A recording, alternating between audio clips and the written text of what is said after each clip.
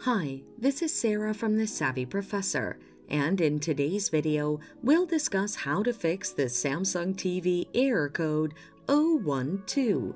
But first, what does this error code mean? Error code 12 occurs when your Samsung TV cannot connect to the internet. The following are some of the common causes of this error. The Wi-Fi connection isn't strong enough or the TV software is outdated. Now, let's look at the best solutions to fix the error. Connect to another network. To solve the issue of a weak connection, if your Wi-Fi network is unreliable, you can connect to a different one by, on your remote, going to Settings. Go to General, then Network, then open Network Settings. Choose the Wi-Fi network that's currently connected to your TV. Choose Disconnect. Then choose another Wi-Fi connection.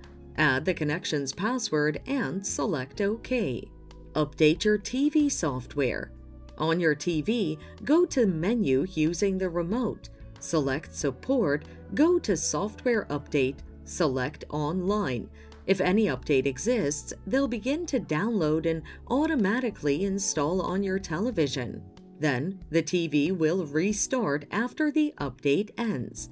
Check to see whether the network connection issue has been resolved. And that's it. Thanks for watching. Till next time.